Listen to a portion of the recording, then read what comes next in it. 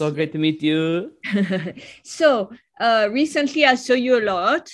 No, not a lot. I saw you, I saw you work in Florence because I went oh. there for Donatello, and you were you were almost there. and uh, I saw that you are going to occupy the big space in Centre Pompidou Metz. Yes, super excited, super excited. Yeah, so probably it's the first time that you will be the guest star in such a museum, right? Yeah, I'm deeply honored, deeply honored. And so I w- I'm so excited like this. so I wanted to know, I wanted to know what you are going to propose there. Yeah, so I'm a media artist working with data.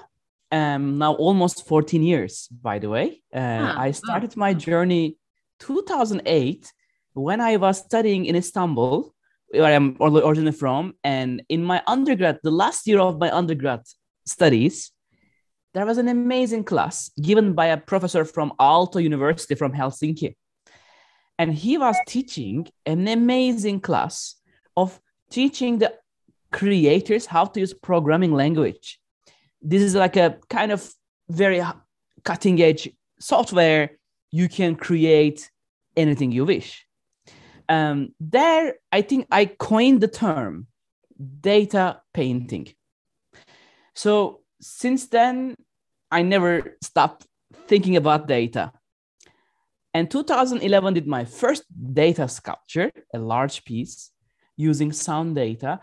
And 2016, six years ago, I became the first generation AI artist in resident at Google, which is very important because before that time, artists were not able to use algorithms to create art with AI. Mm. So I'm so lucky that I'm one of those first in, generation. In what year was it? 2016 February. Wow, very early on. Yeah, I, I, think that's why I'm happy to say I'm a pioneer in the aesthetics of AI. Um, because after that, maybe two, three years later, the medium became exciting and more relevant. But to me, what is amazing is the first first years, right? Um, but also six years is like a 60 years in you know when you work with yeah, AI it's so going fast. very fast yeah, exactly so i'm very honored to be in pompidou metz because the i also i coined the term ai data painting and ai data sculptures which is an, an Im- imagination with machine and human that create art so over the six years um, i work with more than 2 billion images and train more than 100 AI models. So I am giving too many numbers. I'm sorry, but I work with data, so numbers are really too much important. But then I learned something very inspiring the idea of using memory, memory of humanity. For example, nature. I'm obsessed with nature. I love water. I love light. I love everything about nature even though I'm a digital artist, I love physical world, by the way. like I'm not this, you know, everything digital, everything. I love physical world.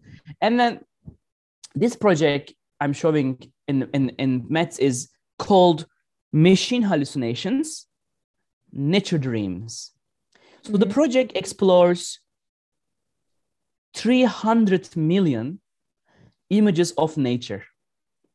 So this is kind of 2019 20 just before the pandemic, this was the idea of happened in my mind. During the pandemic, I think we all stuck in our homes. Unfortunately, some of us affected by mentally, physically, financially, unfortunately. But there was this moment I remember the first weeks. We could go to nature physically, but can nature come to us? That's where I found that maybe using AI and beautiful nature photography, memories of humanity, and reconstruct this artwork.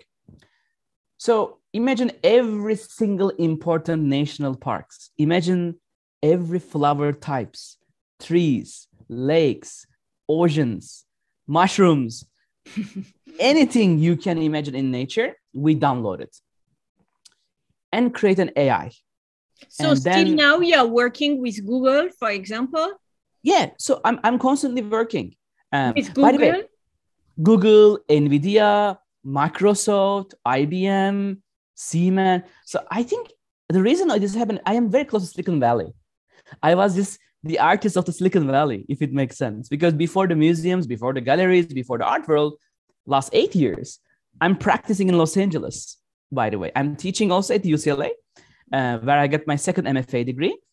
And my focus, we open a studio. By the way, we are 15 people, can speak 15 language. And you have a big administration. I can see. To be able to speak to you, there's several layers. Huh? Because it's very important. It's not a one-man show. It is like Andy Warhol's factory, right? He has been working with incredible people, or Jeff Koons working. I, but for me, we are just computer people. Like we love computation and imagination. Uh, yeah but after all why is data so important for art? I mean uh-huh. there's Very data on one side and there's art and why to mix them? Because i think data is inevitably the most important i think to me memory for humanity. Because data is everywhere every single device wherever we go whatever we eat whatever we read watch even go right? Even machine says go here do that. Like we are in the mercy of machines and systems. And necessarily not everyone is aware of what data is still. Um, yes some people aware of data but not the majority of the world.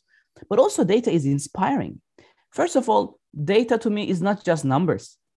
Data is a form of memory it's a memory and it can take any shape and any color. Yeah. And that inspired me. And how can I represent memory of humanity, collective memories that is not personal, that is not private, but everyone, I hope, enjoys? Space, nature, time, urban, architecture, culture. So I focus on these topics, by the way, in my practice. But uh, yeah, yeah, I also speak to Michelle Kuo from the MoMA. Yes. And uh, she said that in a way, when you did the project with the MoMA and they didn't buy anything, I was surprised.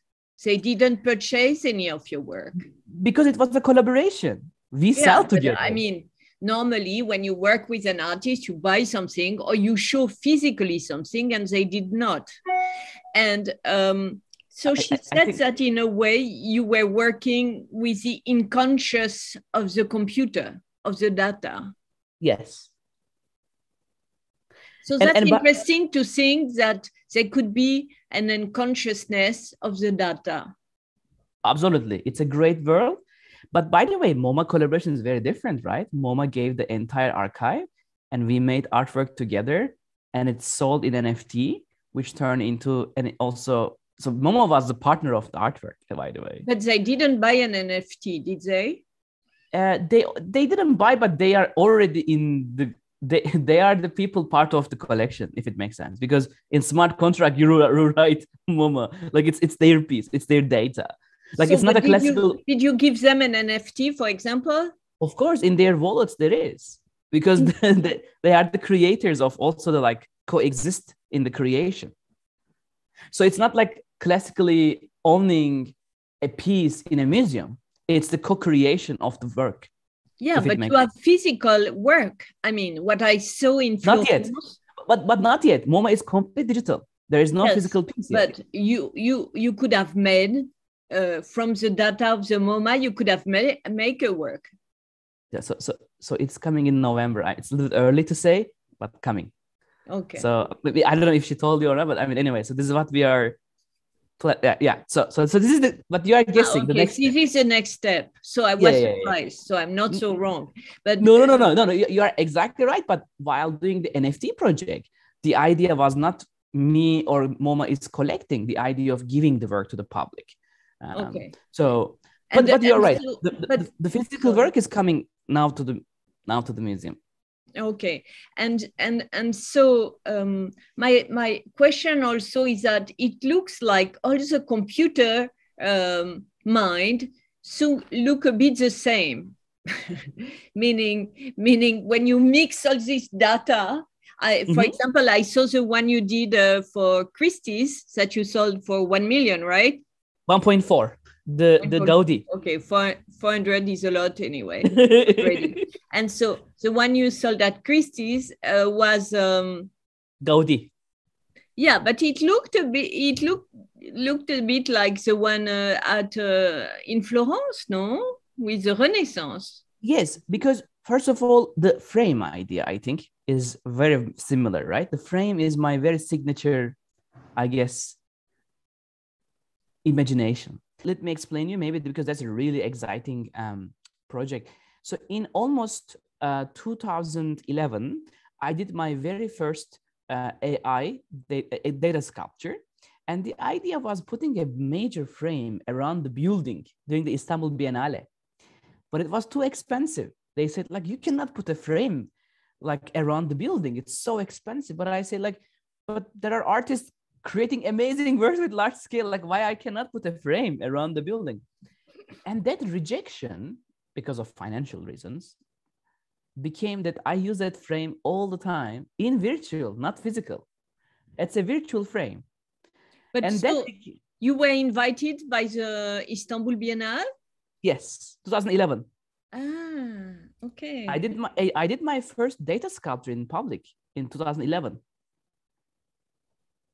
Wow, okay. And that frame, the, the, the frame you see white frame that looks like Florence or in Gaudi or in this new upcoming project, it's a very much this manifestation of like what happens if you see two dimensions, but it's beyond that. Like trompe l'oeil, right? Trompe l'oeil is my very much, I love trompe l'oeil and I love it so meaningful that the world around us is always augmented by I mean, what is real, right? In a world where machines can do anything that you cannot even distinguish what is real, I always find it very meaningful to, to imagine beyond the two dimensions. So that's why you see a frame. But inside the frame, there is Gaudi's Casa Batlló, Renaissance, nature, flowers. And so the nature one will be very different very from different. The, the Renaissance one in, very much. in Florence. Yeah. And so do you control, do you control the, do you make an intervention, a real intervention aesthetically to obtain yes. some results? Yes, it's a very actually intense research because when you train an AI, it's not just a one click, not a one button. There's a lots of parameters, lots of.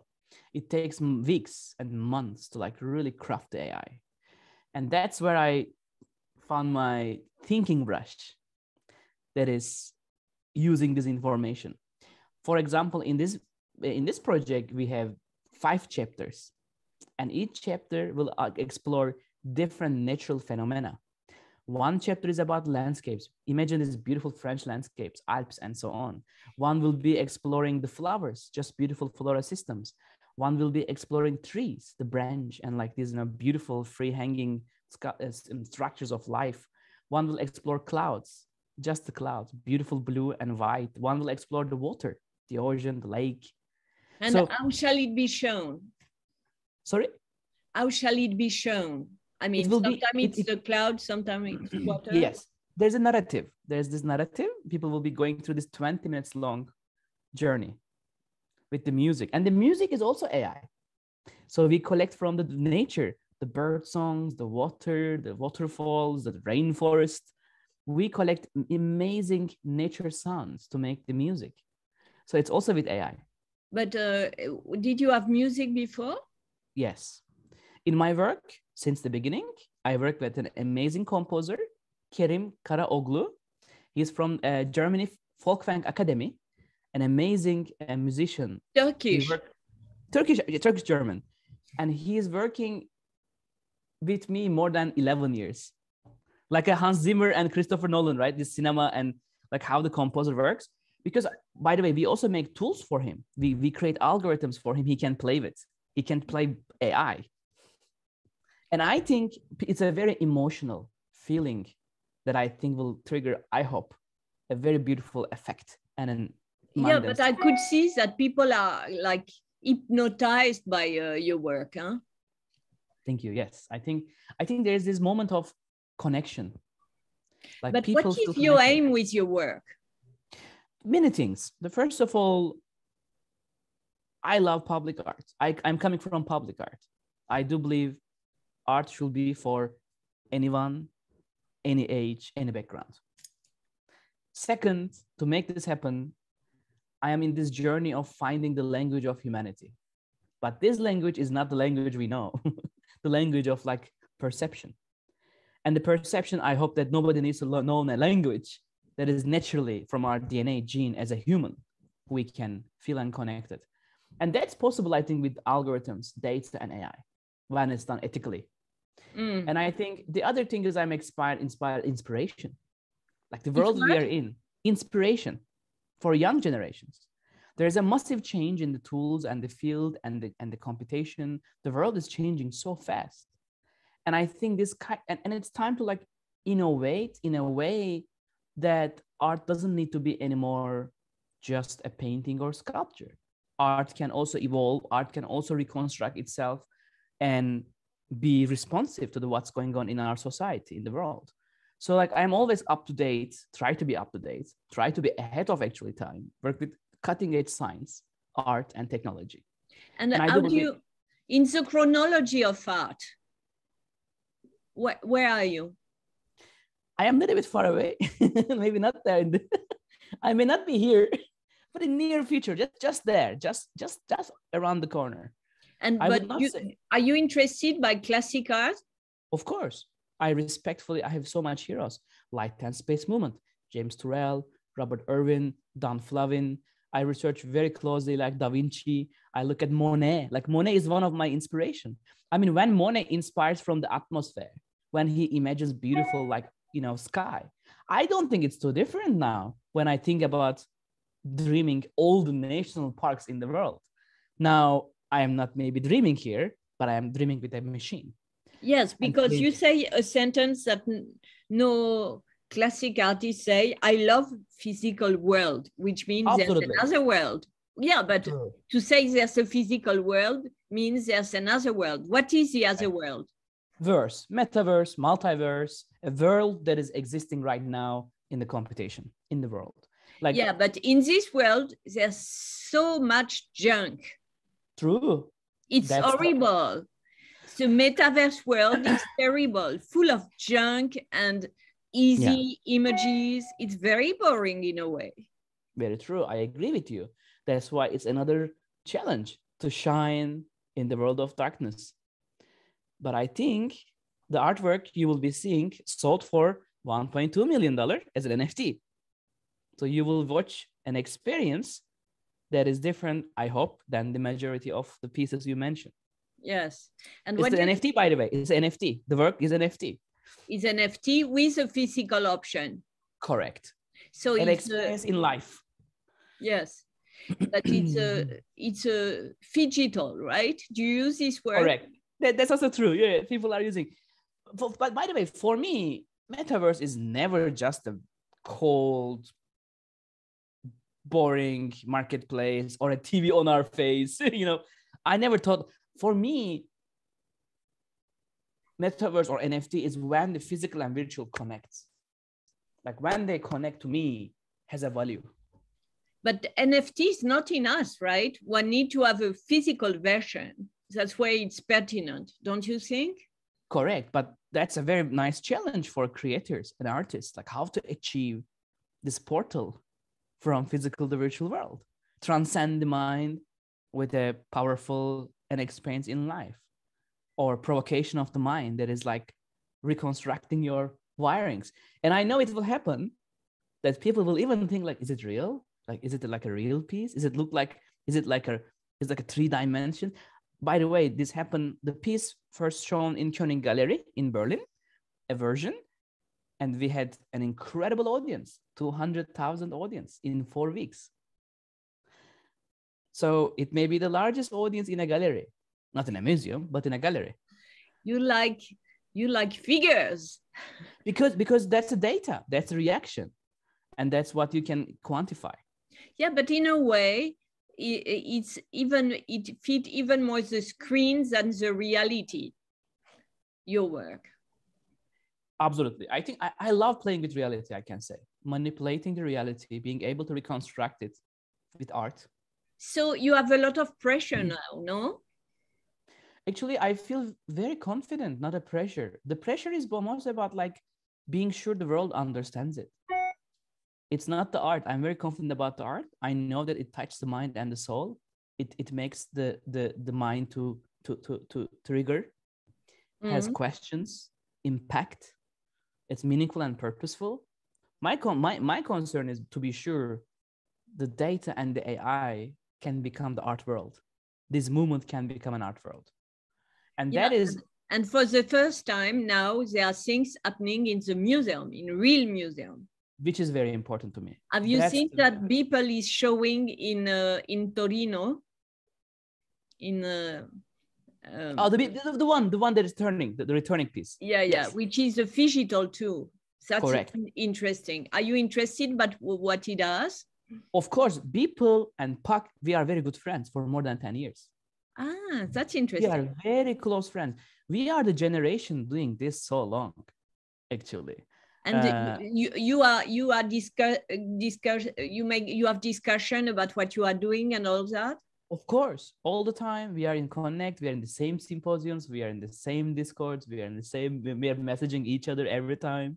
We have a big projects and so so so this is very normal because we are the, i think both me and Beeple and pak murat pak also i would love to because murat pak is also a very interesting figure while not maybe publicly a human face but a being right like I, I i think i am the face of public art and experiential art where i take data ai Beeple is using pop culture like in in, in his figurative work so so we have been doing this I'm 14 years, he's doing 15 years. I think now we are getting recognition of like what we have been trying to say. Mm-hmm. And and so, uh, what is the next step for you now? Again, museums are very important. This is a time to be more responsible. This is a time to like get beyond like what I could imagine. Um, I, am very excited because this recognition is very very important. Um, now working very hard for more than a decade with data and AI. Now I feel connected with the art world. Um, very close working with Hans Ulrich Obrist for other projects. With MoMA. Yeah, for the Serpentine. Yes, and for British Museum, and many other museums also coming. Ah, so I'm happy to say. So what are you doing for Serpentine now? Can you tell? Uh, in Zurich, we will be talking in a couple of weeks, and we are working with a new initiative. Uh, we'll be working with ETH Zurich, Mm-hmm. And then Hans Ulrich is one of the, uh, of course, uh, senior advisor and, and a helper. And I'll be creating a new artwork um, in collaboration with uh, Julius Baer, the, the bank, and they are like one of the um, facilitator. But to make art, to make digital art for also in metaverse. Ah, okay, but it's not for the Serpentine Gallery, right? Eventually, it will be. Uh-huh. So, but but first, creating in Zurich, we are focusing Zurich as a city, but Serpentine Gallery is the partner of the project that ah, is nice. initiating the entire process. Like I think I gave more than 10 talks now with Hans Ulrich just one year about the this movement and how but but there's one thing that I think very inspiring. The idea of NFT as a public art, NFT as an experiential art. Because if you look at my work, like how Kusama did the Infinity Rooms, right? Just in last no last October, I did a project called Machine Hallucination Space, we made we made the room itself nft the immersive room sold for 2.4 million dollar in sotheby's in hong kong ah i didn't know that yes. so you have a, a higher price that's a 1.4 but that was not the, that was a room it's an architectural room you know that's okay. that's one is a room one is a sculpture i think from there there's there are differences but what i want to say is it is very much I can say last one year, my work recognized in Sotheby's and Christie's and now Pompidou's, Metz and MoMA. So I'm res- I'm more excited than before because of this this of course. And but what do you think about the art market for NFT? I think, I think it's it is not everything is art. Not everything is art. And, art is limited and art is not everywhere. And you are making art. How do yes. you know you are making art? the intent to me art is humanity's capacity of imagination and i'm using this capacity to the utmost i can um, and it's not a product or a service it's an experience in life so it's pretty clearly distinct and what mm. it hmm. and, and do you think there will be an evolution in your art yes Aesthetically, I mean? Yes, because now I'm working with quantum computers. I'm working with brain signals. I'm working with heart. Like now I'm evolving into this new era of, oh, even I'm using with scent, the scent of AI. But so, you know, I was I was seeing you drinking a latte, uh, kind of yes. latte. and in, in fact, in your work, I saw this kind of substance. Correct. By the way, I love water since my childhood. I think I'm in love with water and light. Like water is, the, I mean, we're made of water, right? Without water, we don't have a life. Without light, there is no life. I'm just in love with these fundamental materials in life. Yeah, but just... you are not made of latte, right? No. so, but in your in your in your in your work in uh, Florence, there's this kind of substance. We want to ah. drink it. Oh, so actually, it's super interesting. Renaissance era paintings. We we got twelve thousand Renaissance era paintings done between 1300 to 1700 years, and the color in the data, the overall pigmentation in 400 years, is very much in on that color. So when you look at all that year from a perspective of like understanding, like imagine your mind is learning all the paintings. The cumulative understanding of the color is something like that. It's very actually scientific. Like you mean uh, cafe latte color? Um, cafe latte color, I think, is the color of Renaissance. I'm saying it's scientific. yeah, or it became like that. I believe it is a it's scientific mathematically. If you connect all these outputs of the creators, painters, and artists, you'll find that common color. Yeah, but the thing is that uh, at the beginning, probably the colors were brighter, no? Oh, true. And AI, eh, but that's why in the in Renaissance dreams you see very white, very pop, very very bright colors, and it goes through all these like color palettes, all kind of forms of it. And again, it's an it's an it's an evolution of the thinking humankind and i think it reflects there. And you want motion in your work right? All the time. Because for me data is not a dry pigment. Data is in flux. Data is alive. Well so let, let's wait for the next what will be your next revolution? When shall it be? Next year? It's called dataland dataland ah. is, is my imaginary metaverse museum let's call it like that. And yeah. where, where where shall we see it? First los angeles and then everywhere in the world. Where in los angeles? Where? Uh, next to frank gehry i can say. Next to frank gehry is disney hall. Very close. Mm. another frank gehry building i can say. Inside inside the frank gehry building i mean inside the, his building. Inside the concert hall no, no, very close. Another Frank Gehry building. There's another Frank Gehry building uh, next to it. He designed a new building opening next year. Ah, okay, okay, okay. Ah, you mean uh, okay. So one opening next year. Yeah. So next year, now we are developing our own fantasy world where data becomes an experience.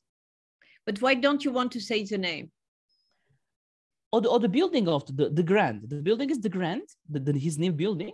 I mean, I wish I can show my screen, but I can say it's an it's it's a next Frank Gehry building, and we are inside his new um, amazing building, which is called Dataland. It will be wow. the very first metaverse. It's the very first multi-sensory metaverse, not pixels, not digital only, it's exactly where the physical and virtual worlds connects. Oh, my other next thing is well-being, human mind.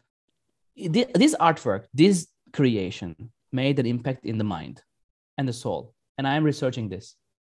We are putting people in the in the machines, the MRI machines, and looking like why this piece is this. You can talk forever with the books, but at the end, how do we quantify this? like can we really say scientifically this specific certain conditions makes you different?